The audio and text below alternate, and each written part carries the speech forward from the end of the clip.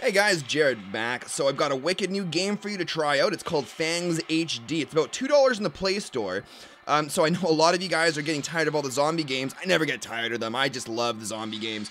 But here we have vampire type game. So we've got campaign and survival mode, jump into campaign, uh, various levels. It actually took me quite a while to uh, get to the point where I'm at now. So um, that's a really good sign for those of you out there that like long-term gameplay. You know, you want to be able to buy a game and have hours and hours and hours of playtime with it. Uh, before you start each level, it gives you um, the option to kind of upgrade your different um, stats and weapons and things like that which is great. So we'll go ahead and jump into the level now. Um, this is actually a brand new level. I just finished like a whole chapter, uh, so we're going to be getting into something that I actually haven't had a chance to play yet.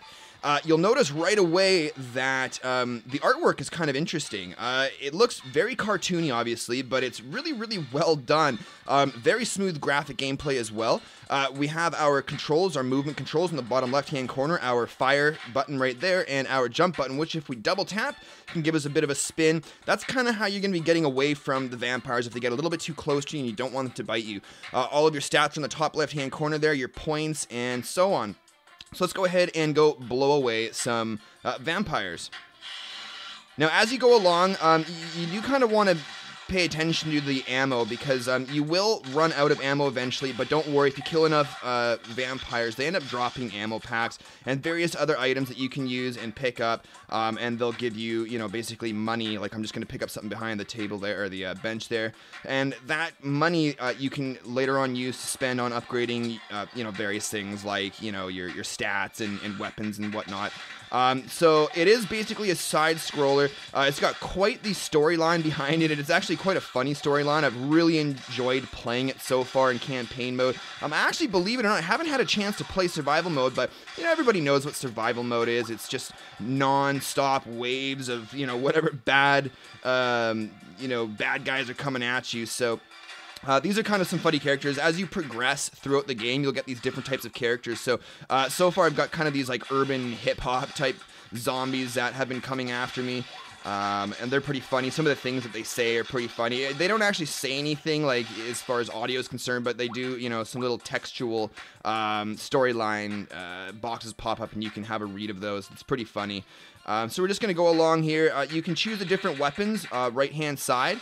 Um, so it starts you off with the shotgun, a pistol, and um, sort of a billy club or like a baseball bat, uh, which you can use in case you run out of ammo, which is always a bad thing.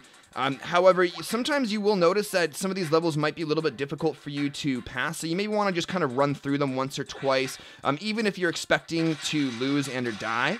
Um, but that's okay because the amount of money and coins, things like that, that you've built up, you can actually use to, you know, upgrade your stats, upgrade your weapons, and so on. Um, and that'll make it that much easier for you to make it through. I've, I've, you know, died on levels before where I was like, there's no way I'm getting through this. And then when I got to the um, stats upgrade page, um, I just did a couple of small bumps and um, I just flew through the levels. So uh, you know there isn't there isn't you know situations where you're gonna be like this game sucks, I hate it, I can't beat it, you know I quit. Um, I'm just loving the graphics though, and I mean you can see like it's very gory, there's blood everywhere, but in a cartoony manner. So I'm just in love with it.